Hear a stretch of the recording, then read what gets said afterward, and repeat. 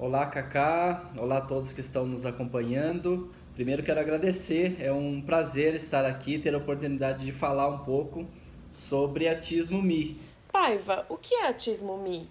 Atismo Mi é uma plataforma digital que uma das principais características dela é ser uma rede social. Não é um Facebook, uma rede social igual outra qualquer, é uma rede social voltada ao autismo. Então, é mais ou menos como é o LinkedIn para a vida profissional, é Autismo Me para o ecossistema do autismo. E qual o objetivo da Autismo Me? O objetivo dessa grande rede social é unir todos os atores desse ecossistema do autismo. Então, nós temos famílias, nós temos autistas, nós temos médicos, terapeutas, dentistas, cientistas, indústria farmacêutica, hospitais, escolas, professores, enfim. A ideia é a gente conseguir unir esse ecossistema todo através dessa rede social. Um outro objetivo grande é entregar um conteúdo ideal, um conteúdo especificamente bom para cada pessoa. Então a gente quer tentar entender o perfil de cada um e entregar o conteúdo correto. Então, se eu sou um autista, é, um autista jovem, adulto, eu vou me interessar por temas como, por exemplo, empregabilidade de autista, é, relacionamento, enfim, temas vinculados à vida adulta de um autista. Então a ideia é a gente tentar entender o perfil de cada um e entregar para cada um o melhor conteúdo para ele. Além de conteúdo, essa rede social também vai ter serviços. A nossa ideia é plugar os melhores serviços, os melhores aplicativos na nossa plataforma. Então a gente não quer reinventar a roda, a gente não quer refazer o que está feito. Se alguém tem um aplicativo muito bom na área de autismo ou que sirva a comunidade de autismo, a gente quer plugar esse aplicativo lá. Então vou dar um exemplo.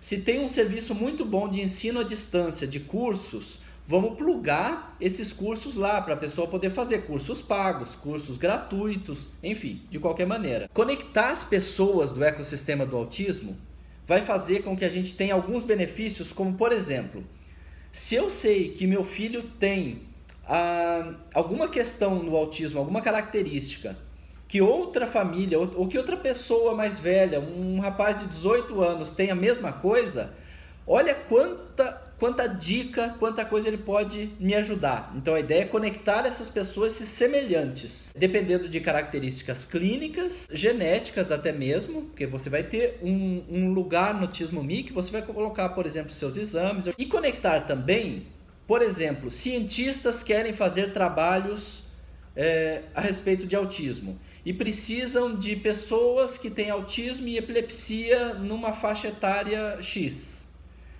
Às vezes o trabalho não é feito porque não se encontram essas famílias. Então a ideia é tentar ligar os estudiosos às famílias também.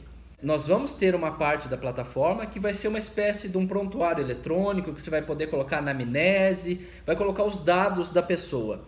Eu acho que não tem coisa mais chata do que quando a gente vai num novo médico, num novo terapeuta e você tem que contar a história tudo de novo. E eu poder compartilhar essa história, essa anamnese com o profissional que eu quiser. Outro ponto muito importante é que os dados são do usuário. Os meus dados são meus. Eu vou poder autorizar para que algumas pessoas vejam e eu vou poder tirar essa autorização, colocar para outra, é, do jeito que eu quiser, na maneira que eu quiser, na hora que eu quiser. Então eu vou ter o controle completo dos meus dados e total privacidade disso. Ah, e se eu tiver dois filhos com autismo? A plataforma já prevê que a gente possa cadastrar mais de um filho com autismo, se for o caso de cadastro de pais ou de familiares. Eu vou poder formar grupos de autismos semelhantes entre as pessoas. E se eu tiver, por exemplo, um estudo de um teste de um medicamento, ou se eu tiver algum teste de algum equipamento, de um aplicativo, eu vou também mais facilmente acessar esse grupo específico de pessoas. Se a gente não achar algum serviço que a gente pense ser essencial, a gente pensa em, em, tentar estimular ou desenvolver. Então, por exemplo, as pessoas vão fazer palestras em eventos. Poxa, eu queria estar nessa palestra e não posso. A gente quer promover uma forma de que possa ser transmitida ou gravada essa palestra para que a pessoa possa assistir depois. Então são ideias. Uma outra característica que, que nós teremos também lá vão ser testes que a gente possa levantar suspeita de diagnóstico de autismo. Então, de repente, você conhece alguém que está suspeitando ou que você não sabe muito bem como dizer, achar testes que possam ser feitos para levantar suspeita para que a pessoa possa tomar essa iniciativa de partir para uma jornada de diagnóstico, né? de procurar um médico especialista para conseguir um diagnóstico, tanto para crianças quanto para jovens, quanto para adultos também. Muitos serviços ainda virão, muitas ideias ainda virão no decorrer desse caminho, tanto para autistas adultos, quanto para pessoas, é, é, para familiares ou para autistas jovens e crianças, para profissionais. A ideia é atender a demanda de todos e ser o grande, o grande hub, o grande concentrador dos serviços é, ligados ao autismo. Qual a previsão para o lançamento? Autismo Me está com lançamento marcado para o primeiro trimestre de 2020. Ou seja, até março, até o fim de março de 2020, nós deveremos estar lançando essa rede social. E como eu faço para participar? Nesse início, somente pessoas com convite terão acesso. Então, quem se cadastrar, nós temos um cadastro que fica aberto até o próximo dia 5, até o dia 5 de novembro agora. A gente já tem milhares de pessoas cadastradas e essas pessoas vão receber um convite. E só elas terão acesso à rede social Autismo Me no início. É gratuito, logicamente, não tem custo nenhum. E quem tiver esse convite, quem puder acessar no início, vai ter uma quantidade de convites também que a pessoa vai poder mandar para alguém. Então eu tenho um amigo que quer eu vou poder mandar um convite para ele. Mas ninguém vai entrar sem ter convite nessa primeira fase da rede social. Por isso a importância de se cadastrar e garantir esse seu acesso nesse início principalmente, que vai ser muito, muito interessante. Há quanto tempo está sendo desenvolvida a Tismo Me? Olha, eu estou trabalhando nessa rede social junto com a Tismo, então isso foi uma união da revista Autismo com a Tismo.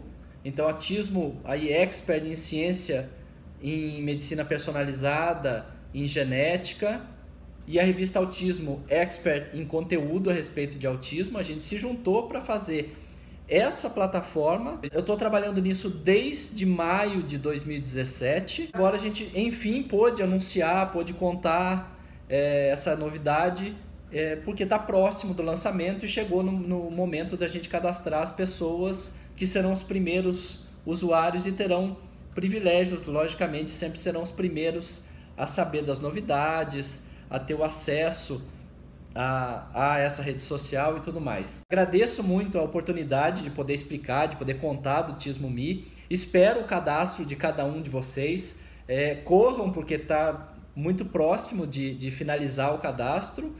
E vai ser um prazer ouvir ideias, é, ouvir o feedback, o retorno de vocês quando estiverem usando essa rede social, porque a ideia é modelar isso para cada um que para cada usuário, para cada um que vai se é, usar e se beneficiar dessa rede que a gente quer que cause um impacto grande aí na sociedade é, ligado ao autismo e a ideia é que seja uma rede global, logicamente. A gente vai lançar isso em português e inglês inicialmente. A ideia é que isso possa se expandir e se tornar uma rede global é, vertical, né? uma rede social vertical, que é uma rede social ligada a um assunto específico que é o autismo. E aí lá dentro você vai poder ter grupos, comunidades, discutir coisas, enfim, sem medo de, do pessoal achar que você só fala de autismo, como pode acontecer hoje no Facebook, no Instagram, no Twitter, enfim.